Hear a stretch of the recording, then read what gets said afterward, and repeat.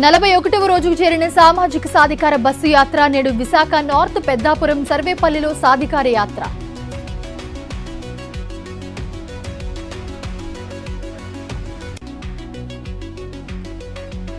Municipal కార్మికులతో నేడు AP ప్రభుత్వం చర్చలు మంత్రి బొత్స ప్రభుత్వ సలహాదారు సజ్జల ఆధ్వర్యంలో సమావేశం. ఎస్మా పరిధిలోకి ఏపీ అంగన్వాడీ కార్యకర్తలు ఆరు నెలల పాటు అంగన్వాడీ కేంద్రాల్లో సమ్మెలు నిషేధం. ఏపీలో కొనసాగుతున్న వైఎస్ఆర్ పెన్షన్ కానుక సంబరాలు అవ్వా తాతలకు పెన్షన్ అందజేస్తూ ఉన్న ప్రజాప్రతినిధులు వాలంటీర్లు. ఏలూరు జిల్లా చాటపర్రులో వైఎస్ఆర్ పెన్షన్ కానుక కార్యక్రమం హాజరైన మాజీ deputy CM Alla Nani MLA Abbayya Chowdary. Penukonda నియోజకవర్గంలో ఉషా శ్రీచరణ్కు ఘన స్వాగతం సమన్వయకర్తగా నియామకం కావడంతో హర్షం వ్యక్తం చేసిన మంత్రి.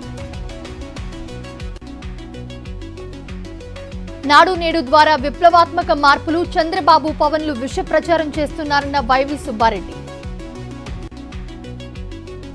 తిరుమల శ్రీవారిని దర్శించుకున్న ప్రముఖులు సుప్రీంకోర్టు న్యాయమూర్తి justice Rajesh Bindal Telangana high court న్యాయమూర్తి నగేష్.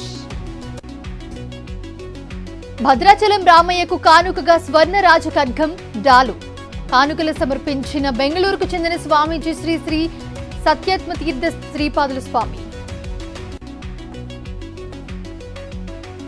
టీడీపీ నేత జేసీ ప్రభాకర్ రెడ్డిపై కేసు నమోదు దళిత నేత భాస్కర్ పై దాడి ఘటనలో జేసీతో పాటు ఐదుగురుపై కేసు.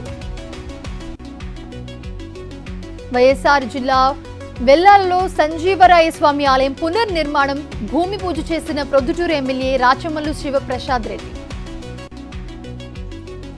తిరుపతిలో అధునాతన పద్ధతిలో రోడ్లు నిర్మాణ పనులను పరిశీలించిన వైఎస్ఆర్సీపీ ఇన్ఛార్జ్ భూమన అభినయ్ రెడ్డి.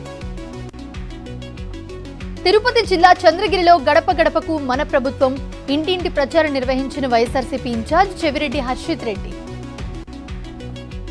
అనంతపురం జిల్లాలో పర్యటిస్తూ ఉన్న ఏపీ గవర్నర్ అనంతపురం జేఎన్టీయు స్నాతకోత్సవానికి ముఖ్య అతిథిగా హాజరైన అబ్దుల్ నజీర్. రాజ్ భవన్కు సీఎం రేవంత్ రెడ్డి మాజీ రాష్ట్రపతి రామ్నాథ్ కోవింద్తో భేటీ. సూర్యాపేట జిల్లాలో తెలంగాణ డిప్యూటీ సీఎం పర్యటన రాష్ట్రంలోని దేవాలయాలకు పూర్వ వైభవం తెస్తామన్న భట్టి విక్రమార్క. త్వరలోనే ప్రజాక్షేత్రంలోకి కేసీఆర్ జిల్లాల్లో పర్యటిస్తారన్న మంత్రి హరీష్ రావు. నేటితో ముగియనున్న ప్రజా పాలన అభయహస్తం దరఖాస్తుల స్వీకరణ నిన్నటి వరకు కోటి ఎనిమిది లక్షల తొంభై నాలుగు వేల నూట పదిహేను దరఖాస్తులు స్వీకరించిన ప్రభుత్వం. ప్రజలకు మెరుగైన పాలన అందించేందుకే ప్రజా పాలన పెద్దపల్లి జిల్లా ఎలిగేడు మండలం లాలపల్లిలో పరిశీలించిన నోడల్ అధికారి దేవసేన. మాజీ మంత్రి జగదీష్ రెడ్డిపై MLA Vemula Veeresham warning.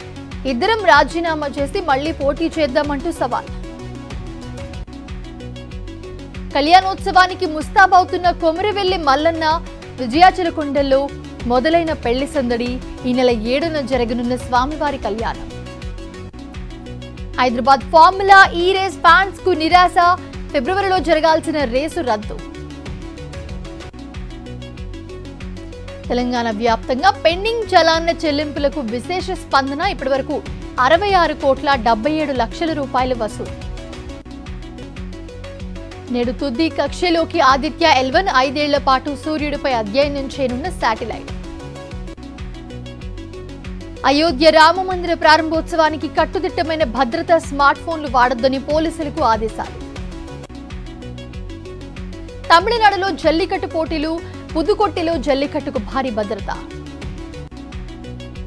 భూపాల్లో Vedic Brahmans cricket tournament భారతీయ సంస్కృతిని ప్రతిబింబిస్తూ క్రికెట్ ఆడిన క్రీడాకారుడు. పట్టాలు తప్పిన జోధ్పూర్ భూపాల్ ట్రైన్ రాజస్థాన్ కోట జంక్షన్ సమీపంలో ఘటన తప్పిన ప్రమాదం.